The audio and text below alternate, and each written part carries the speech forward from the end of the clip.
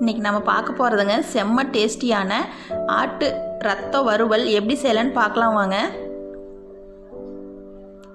இதுக்கு நான் வந்துங்க ஒரு கப் ரத்தம் வாங்கிட்டு வந்துக்குதுங்க.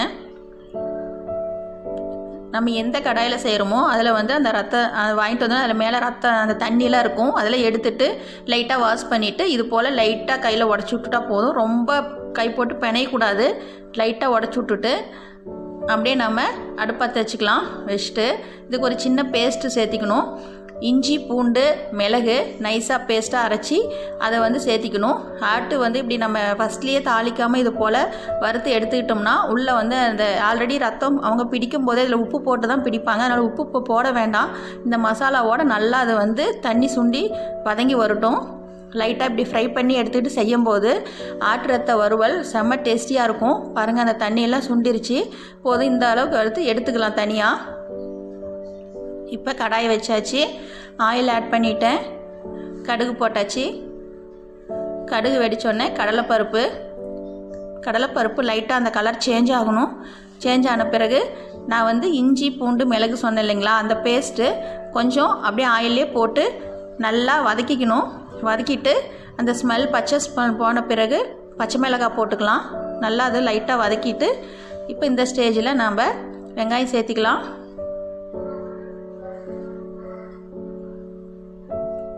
வெங்காயம் சேர்த்து வதக்கிக்கலாம்.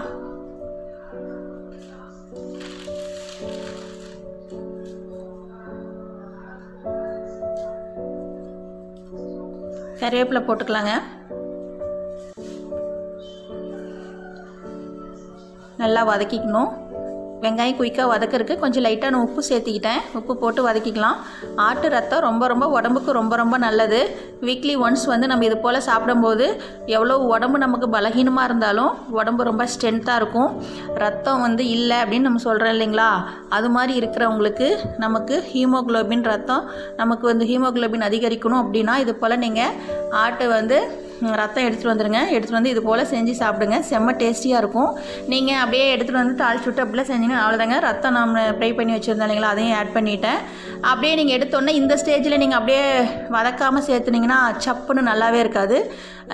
லைட்டாக உப்பு உப்பு தான் உப்பே சேர்த்துறேன். அவங்க கொடுத்த ரத்தத்தில் இருந்த உப்பு தான் நான் வந்து இந்த மாதிரி பீஸ் பீஸாக இருந்தால் அப்படியே நீங்கள் மட்டன் வறுவல் எப்படி சாப்பிட்றீங்க அவ்வளோ டேஸ்ட்டாகவே இருக்கும். ரத்த ஆட்டு ரத்தத்தோட வறுவலும் ரொம்ப அப்படியே நைஸாக ஒவ்வொருத்தர் மாவு மாதிரி பிணைஞ்சு விடுவாங்க. அது மாதிரிலாம் சேர்த்தக்கூடாது. நம்ம மிளகாத்தூள் கறி மசால் தூளுங்க ரெண்டுமே சேர்த்திக்கலாம்.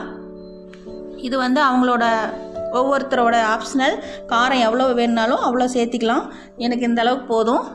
மிளகாத்தூள் கறி மசால் தூள் ரெண்டும் போட்டுட்டு நல்லா அந்த பச்சை மணம் மாறுற வரைக்கும் நல்லா வதக்கிட்டு தேங்காய் துருவல் சேர்த்திக்கலாம். கறிவேப்பிலை கொத்தமல்லி தலை வந்துங்க.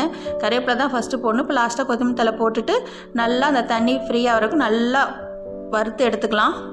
பாருங்கள் செம்ம டேஸ்டியான பாருங்கள் கொஞ்சம் கூட தண்ணி இல்லாத ஆட்டு ரத்த வறுவல் ரெடி பாருங்கள் கட்டி கட்டி அப்படியே பார்க்கறக்கு ஆட்டுக்கறி வறுவல் மாதிரியே.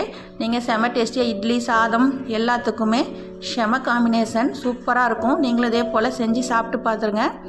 ஓகே டிஸ்பிளேல பார்க்கலாம். பாருங்கள் செம்ம டேஸ்டியான ஆட்டு ரத்த வறுவல் ரெடி நீங்களும் செஞ்சு சாப்பிட்டு பார்த்துட்டு எப்படி வந்துச்சுன்னு எங்களுக்கு கமெண்ட்ஸில் சொல்லுங்கள் பாருங்கள் ஒரு பீஸ் உங்களுக்கு எடுத்து காட்டுறேன். பாருங்கள் அப்படியே கட்டி கட்டியாக கறி வறுவல் எடுத்தால் இப்படி இருக்கும். அதே போல் தான் இருக்கும்.